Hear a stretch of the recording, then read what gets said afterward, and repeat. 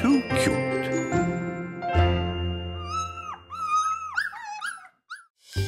The snow might have melted from these mountains, but for a sled dog, training never lets up, as Mom Cholia and her mate Danahi know all too well. And at four weeks old, the seven pups are being tested to see who has the makings of a sled dog. In today's lesson, they'll get used to the feel of a harness, pull their first object,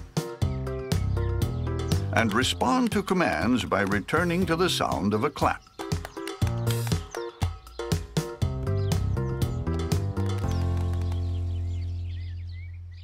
Bold Olaf's got this lesson covered. It all seems a cinch to this self-appointed pack leader. Harness, piece of cake. Pulling his weight, easy. But as his sister Aurora enters the ring, Olaf is forced to up his game. This exercise is no sweat. They're both showing sled dog promise. Until Olaf takes it the extra mile, showing off to everyone how to be the leader of the pack.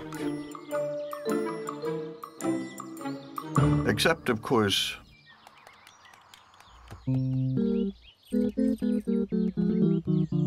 leader of the pack usually knows where he's supposed to be going.